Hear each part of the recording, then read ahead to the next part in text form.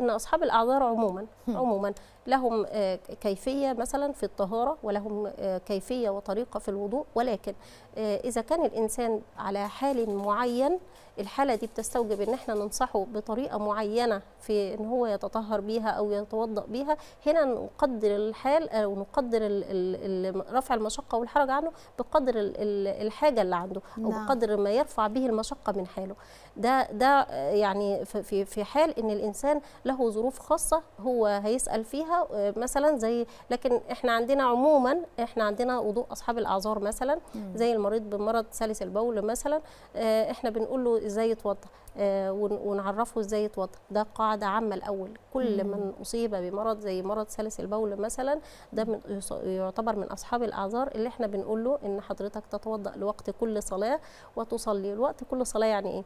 يعني انتظر لحد ما الأذان يأذن فهنا أتأكد من دخول وقت الصلاة وبعدين أتوضأ وأصلي الفريضة دي دلوقتي. نعم. وإذا كنت أنا في في في مشقة البول ده موجود طوال فترة ال- طوال الفترة فما فيش ما يسع أداء أي حاجة إلا الفريضة دي. يبقى أنا على وقت كل صلاة أنتظر لما يدخل الأذان وبعدين أتوضأ تاني لوقت كل صلاة. ومن رفع الحرج عنه إن إذا الإنسان يعني آه، خرج منه بعض قطرات البول في في بعد وضوءه وأثناء ما هو بيؤدي الصلاة فربنا سبحانه وتعالى يعفو عنه. ولكن عليه أن يتحفظ قبل أداء الصلاة علشان آه، هذه القطرات لا تصيب ثيابه أو تصيب جسده. نعم. طيب يبقى أنا هنا مريض سلس البول. يبقى كل لما يقرب لوقت الصلاة هو يبتدي لما يتوضا في يدخل وقت الوقت الصلاة. ده. لما يدخل وقت الصلاة يعني آه. بعد الأذان خلاص هو تأكد وتيقن من دخول وقت نعم. ال- ال- الصلاة فيسمع الأذان فيبتدي يتوضا ويصلي ويرفع عن نفسه ال- الحرج والمشقة بإن هو يشعر مثلا إن هو آه، في- شيء آه، أو في بعض القطرات الموجودة. بس بشرط إن هو يكون تحفظ أثناء بعد الاستنجاء وقبل الوضوء طيب ن- نوضح للناس يعني إيه تحفظ؟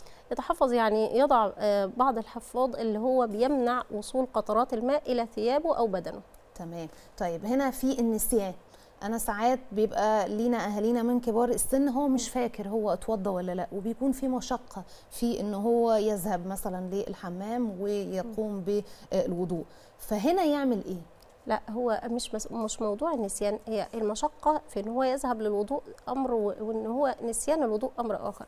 مم. خلينا نقول إن هو لو نسي هو متوضئ ولا مش متوضئ يبقى إذا نستصحب الحالة اللي كان قبلها. إذا كان النسيان ده عارض ومش حال داوم مع يعني على طول هو في حالة النسيان.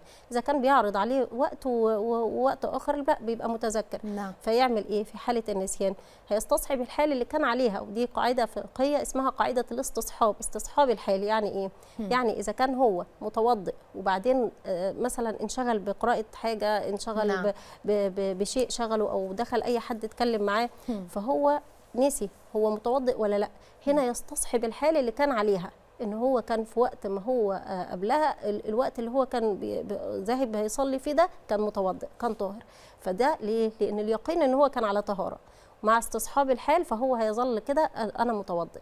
نعم. إلا إذا كان هو مش مش متذكر أصلا هو متوضئ ولا لأ كلية يعني هو مش فاكر أصلا هو قام وراح اتوضى ولا لأ. في الحالة دي هنقول له لأ هنا ما يغلب على ظنك إن أنت مش متأكد أصلا أنت اتوضيت ولا لأ هنقول له لأ حضرتك إن شاء الله تتوضأ. إذا كان ده سهل عليك وميسر وده الأصل والواجب عليه. إن تمام هو يذهب ما دام ما فيش مشقة في ده. تمام.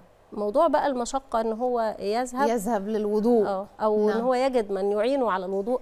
آه، فإذا كان كبير السن لا يستطيع إن هو يعني يضع الماء على جسده لأي مرض ما, ما أو في مشقة تلحق به إن هو مثلا يتوضأ الوضوء ال- ال- المسلم الصحيح بيتوضأه. مم. فهنا طبعا الشريعة الإسلامية أباحت له إن هو يتيمم.